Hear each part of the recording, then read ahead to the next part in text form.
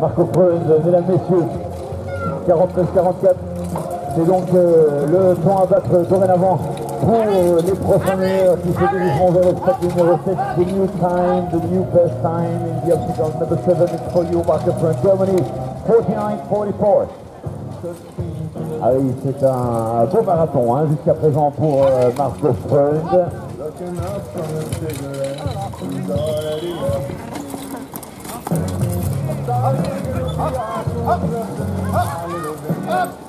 Et attention, on nous annonce euh, l'élimination d'Yvan Lewis et Claude Maillet.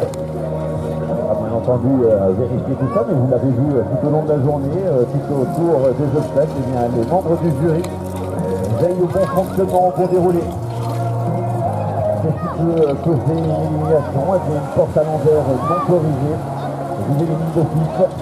Nous verrons donc si c'est confirmé, mais donc euh, sur euh, les écrans de contrôle, on nous annonce l'élimination de